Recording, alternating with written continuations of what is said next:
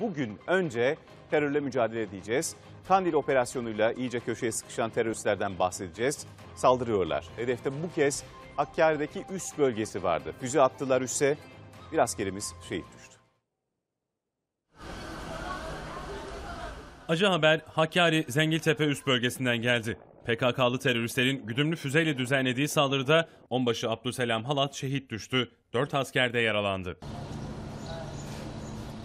21 yaşındaki onbaşı Halat 7 kardeşin en küçüğüydü. Aile Şanlıurfa'da gün sayıyor, oğullarının yolunu gözlüyordu. Acı haberi bayram arifesinde baba evine kor gibi düştü. Oğlunun şehadet haberini hastanede tedavi gördüğü sırada alan şehit baba eve ambulansla getirildi. Kuzey Irak'taki operasyonlara katılan şehit onbaşı ailesine böyle selam göndermişti. Ondan geriye top atışı yaptığı görüntüler kaldı.